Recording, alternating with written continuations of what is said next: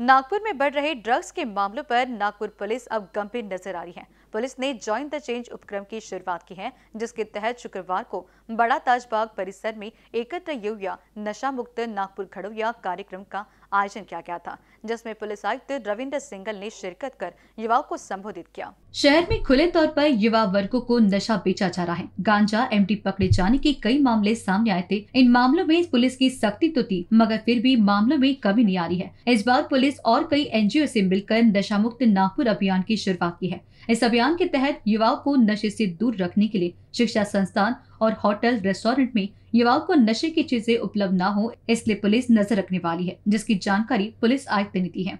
आज से हमने ज्वाइन द चेंज एक प्रोग्राम शुरू किया शहर में और ये ड्रग्स के खिलाफ जो है शहर में अगर जो भी केसेस हुए क्योंकि हमने कई रेड्स किए जिसमें हमको थोड़ा थोड़ा ड्रग्स मिला और कुछ इसमें बड़ी संख्या में भी पता चला है कि ड्रग्स का कंजम्पशन होता है यहाँ पे।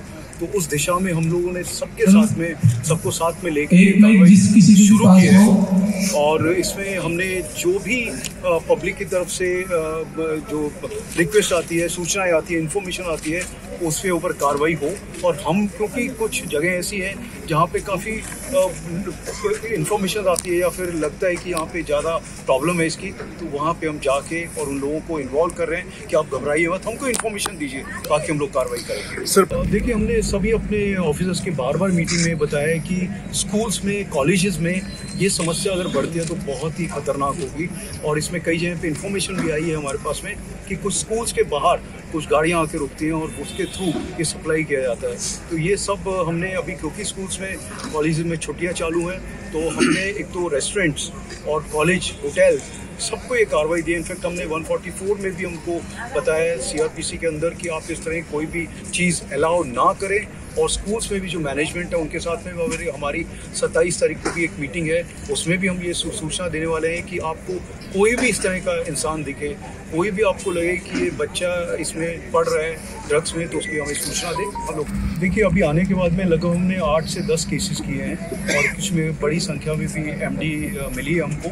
तो हमने किसी का भी नाम नहीं बताया और ये सूचनाओं के आधार पे भी बहुत बारी आती है। तो ये मैं आप सभी को बोलना चाहता हूँ आपके ज़रिए कि घबराने की कोई ज़रूरत नहीं है। और आपको लगता है आप डायरेक्टली आके मुझे बताएँ हमारे सीनियर ऑफिसर्स को बताएँ हम आपका नाम बिल्कुल गुप्त रखेंगे और उसके बारे में किसी को कोई सूचना नहीं दी जाएगी। सर बस्तियों में जो ओयो खुला हुआ है उसमें अवैध काम जो ज़्यादा हो रहे हैं उसमें पूरे नागरिक प्रशासन है उसमें आप कैसे सकते दो करिए।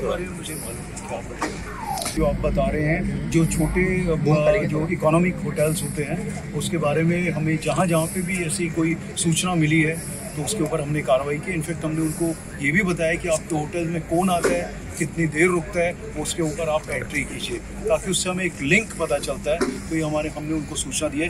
आपको भी अगर कुछ पता चलता है इसके बारे में, आप ज़रूर बताइए, क्योंकि कोई भी रहे तो हम उसको छोड़ेंगे नहीं। इस वक्त पुलिस आयुक्त ने लोगों से आह्वान किया है कि युवाओं को नशा उपलब्ध करा कर देने वाले लोगों के बारे में पुलिस को जानकारी दे। साथ ही जानकारी देने वाले लोगों की पहचान गुप्त रखने की बात भी इस वक्त की गई। कैमरा पर्सन अखिलेश भारद्वाज के साथ प्रकाश शुंकलवार की रिपोर्ट।